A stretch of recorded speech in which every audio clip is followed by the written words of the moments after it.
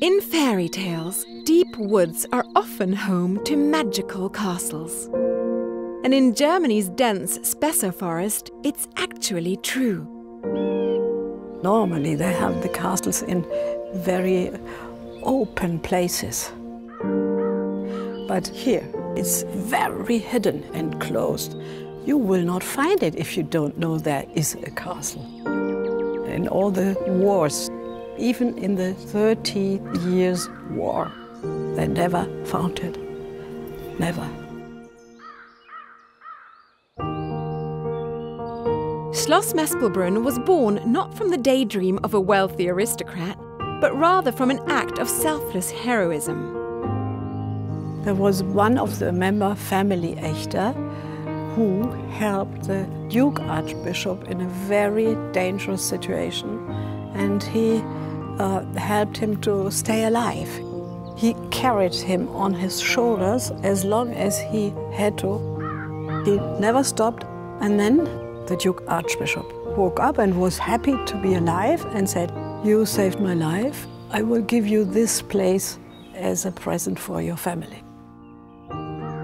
Carved from nature in 1412, Mespelbrunn was at first a hunting lodge, a place of bountiful feasts and tall tales, of jolly clansmen and proper nobles, of brave knights matching wits with elusive deer, wild boar, and on occasion unruly bandits, and even radical Hussites, as the Echter family sought to tame this wild land. In the 16th century, a new generation reshaped the castle into the more pleasing form we see today. 200 years ago, this was completely closed. You couldn't look through the archbows.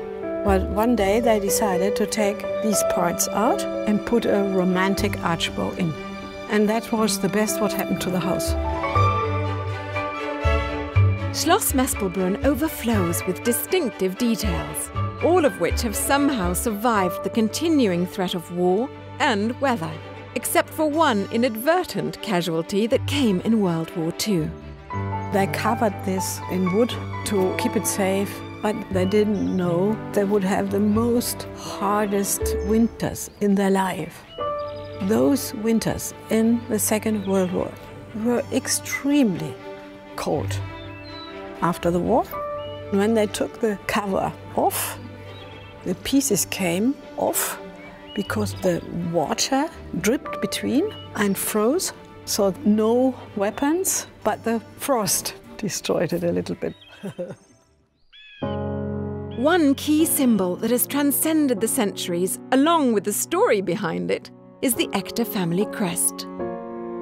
The three rings are from the family Echter. And the family Echter had those crests for many, many, many centuries. There was a very strange and wonderful story from this family. There were three very strong boys. And uh, they had always trouble with other strong knights. And once they had a fight, and one of the other knights was killed. They were taken to court and they were banished to live in the woods. And they became fair game for hunters and everybody who came upon them. During these years in the woods, the three boys, they said, once in a month we should meet. And so when they had their meeting point, they had to put the horses uh, together. And after they came free, they took the three rings in memory of those years when they had to put their horses, to fix their horses, in, in, on that meeting point. And so the spirit of the three brothers lives on.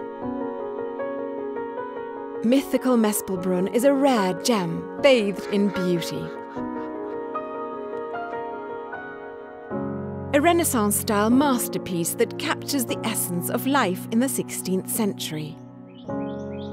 I hope you too will do what I did and explore Schloss Mespelbrunn for yourself, and perhaps even encounter its signature moat trout. In this splendidly serene setting, you almost forget there's an outside world, and you'll find yourself in absolutely no hurry to leave.